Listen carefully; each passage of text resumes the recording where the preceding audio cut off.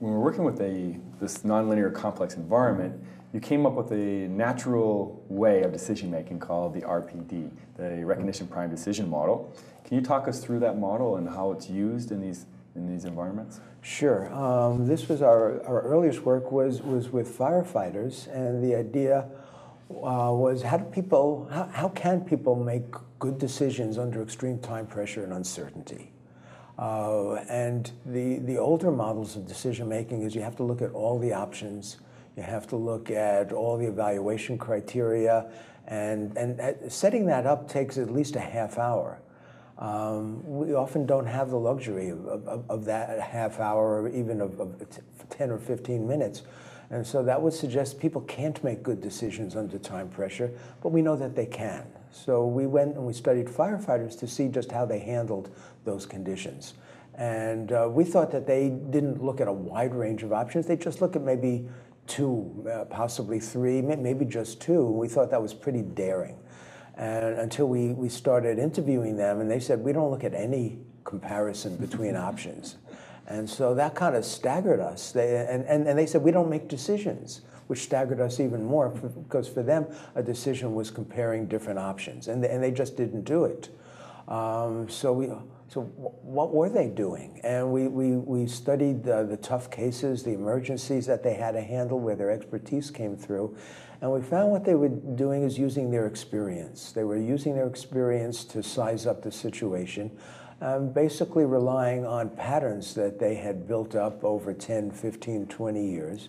And so they could, in a very short period of time, um, make a pattern match and the pattern match, and you can see this in, in the diagram over here.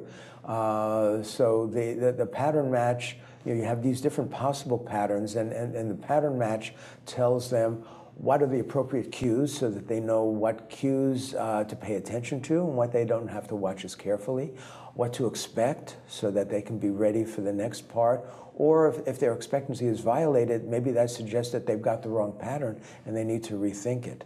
Uh, it, it, tells them uh, what kinds of uh, goals to pursue, and so that's part of the goal definition process.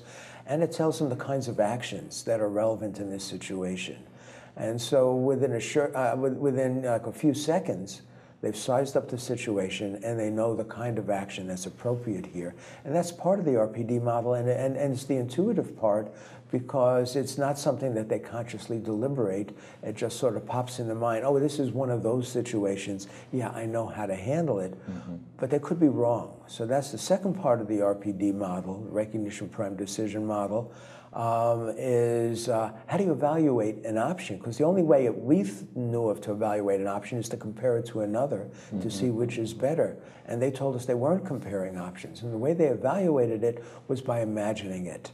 They were doing it like popping a, you know, a, a, a, um, using a, mental simulation is the process we talk about, and you know, popping a, in a DVD in, in, into the player and uh, doing it forward and saying, if, how is this going to play out? If I carry, if I initiate this action, how are things going to develop? And so they imagine it, and if they like what they see, they're ready to put it into, into play. If they almost like it, then they can improve it. And if they don't like it at all, they say, What else are my options? Mm-hmm, mm-hmm. And so that, that became a, a, model to describe how experienced people make decisions. And this hadn't been discovered before because most of the research was done in laboratory settings where you have usually college sophomores uh, uh, performing tasks they've never seen before, and so they have no expertise. So you're studying, so the expertise part of the equation had been ignored. And when we studied the firefighters, that became foregrounded, that, be, that became a critical part of the, of the process. I think your, your research shows uh, that 90 or 95% of the time we actually make a, use the natural decision making process, and only uh, 10% or 5% we actually do the rational traditional, what we would think is traditional decision making. That, that was our research, and other people try to replicate our findings, and, and, and they found the same thing. So it's been pretty widely replicated, yes. Uh, yeah, most of the time we're in this mode, even for tough decisions, we're, we're using our, our pattern matching abilities mm-hmm. to, uh, to size up the situation. Really enjoy this model because now you can break down how a decision making process works. I mean, mm-hmm. When you talk to executives, you know, how do you make decisions? no one ever asks that question because you don't, no one really ponders or thinks about it. And so it, it, breaks it down into those goals, the cues, expectancies, courses of actions. If you have your wrong goal, then you got the wrong script going through, so you got to right. re- reevaluate it. What about your team sensing or team making, uh, sense making that you go? So that RPD is the individual in right. my mind, but now there's actually a team decision process. Yeah, that makes it much nastier uh, because for the RPD model, the, the, the, critical component is the initial component of the pattern matching, matching it to patterns I've built up uh, through all my experience.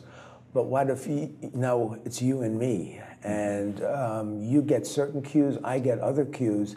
How are we going to com combine those cues now to, to build patterns and to size the situation up? And that's where we see a lot of uh, a lot of failures is at the team level, not the individual level. Mm -hmm. Where uh, if we've worked together, that's one thing. If we haven't worked together too much.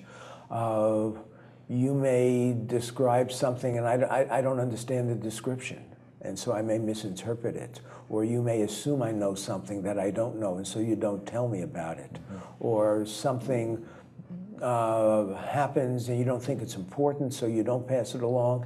And I assume since you didn't pass it along that it didn't happen. And so now we have a breakdown in common ground, mm -hmm. and the team sense making ha has fallen apart. So that, that's the real challenge is, that, is working with, with teams to, to get everybody to, to communicate effectively. So, what are the strategies that you recommend that these groups enhance their team decision making process? Okay, so uh, for, for the team sense making process, uh, a lot of it would, would be trying to practice together so that you, you can build a basis for common ground. You're using terms in the same way. Uh, you're, you're calibrating what you think is important or, or not. So the, the preparation of the team becomes a critical part of, of, of, of uh, handling uh, new situations. Once you're in the situation, um, the leader and the team members need to be alert to indications that the common ground is breaking down. Uh, these could be, you know, small little confusions. It's not worth taking time to correct it, but if you see a couple, that might be an indication that maybe maybe we, we're, we're, we're uh, interpreting the situation in different ways, and that can lead to trouble. It, it's led to a number of disasters where there's been a common ground breakdown, and people don't realize it until it's too late to do anything about it. So uh, the, the uh, strategy there is to try to pick up the early signs that common ground is eroding. It's, it's always eroding. Let me, let me change that. It's not a question of whether it's going to erode, it is eroding. And so pick up the early signs that it's eroding badly enough to affect our operation, and it's worth calibrating.